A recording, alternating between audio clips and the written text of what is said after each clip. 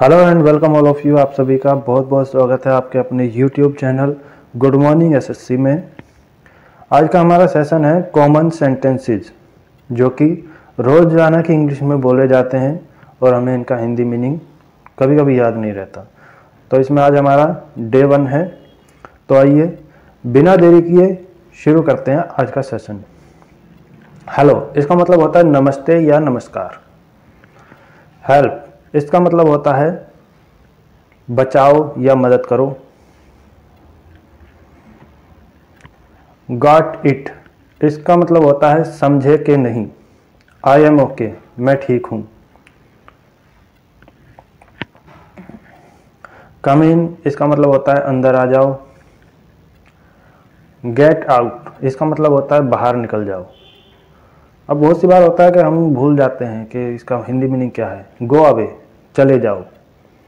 Good bye इसका मतलब होता है ठीक है, चलते हैं।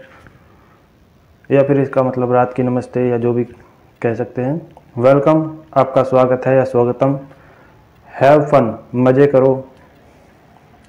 बहुत सी बार वेलकम का मतलब भी भूल जाते हैं। आई फॉरगोट इसका मतलब होता है मैं भूल गया। आई विल पे इसका मतलब होता है मैं पैसे दूँगा। अब बहुत सी बार हम लोग पैसे देते हैं और हिंदी में बोल देते हैं, मैं पैसे दूँगा। आई एम फाइन मैं ठीक हूँ। आई एम फुल मेरा पेट भरा हुआ है। अब आप बहुत सी बार बोलना होता है इंग्लिश में, आप बोल देते हैं, हिंदी में मेरा पेट भरा हुआ है। लेट्स गो चलो चले। आंसर मी मुझे जवाब दो। अब कोई देखता रहता है और वो बोले आपको कि आंसर मी मुझे जवाब दो। तो आप क्या बोलेंगे? बर्ड्स फ्लाई इसका मतलब होता है, पंछी उड़ते हैं। एक्सक्यूज़ मी माफ़ कीजिए। आप किसी को बोलते हैं एक्सक्यूज़ मी और आपको मतलब ही नहीं पता। आई आई फियर सो इसका मतलब है, खेद की बात है, लेकिन वैसा ही है। आई लाफ्ट मैं हंसा, यानी कि मुझे हँसी आई, एक ही बात है। आई एम बोर्ड मैं बोर हो रहा हूँ। आई एम ब्रोक मैं टूट गया हूँ। जो कोई अंदर से टूट जाता है, वो यही बोलता है। आई एम टायर्ड मैं थक गया हूँ। जब आप सफ़र करके घर जाते हैं तो थक जाते हैं। हु नोज़ कौन कौन जानता है या कौन जानता है? एक ही बात है। बर्ड सिंग पंछी गाते हैं। कम ऑन इन अंदर आ जाओ। अगर किसी को बुलाना हो, घर के अंदर और वो बाहर ही खड़ा रहे तो इंग्लिश में भी बोल सकते हैं। डोंट मूव हिलो मत। फायर बर्न्स आग जलाती है। फॉलो हिम उसका पीछा करो। आई एम टायर्ड मैं थक गया हूँ। आई कैन स्विम मैं तैर सकता हूँ। कैन आई मीट हिम क्या मैं उससे मिल सकता हूँ?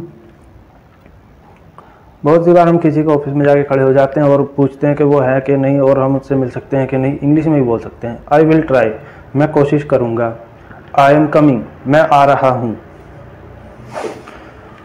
बहुत सी बार पूछता है कि तुम आ रहे हो कि नहीं आ रहे हो? इंग्लिश में पूछे तो बता सकते हैं आई एम हंग्री मैं मुझे भूख लगी है। लेट्स हिम इन उसे अंदर आने दो। लेट मी आउट मुझे बाहर जाने दो। वंस अगेन एक बार फिर।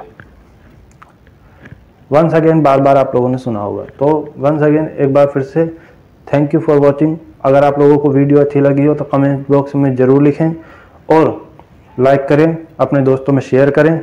और इस वीडियो में कराए गए सभी कम कॉमन सेंटेंसेस की पीडीएफ के लिए ज्वाइन करें हमारा टेलीग्राम चैनल और चैनल को सब्सक्राइब करें।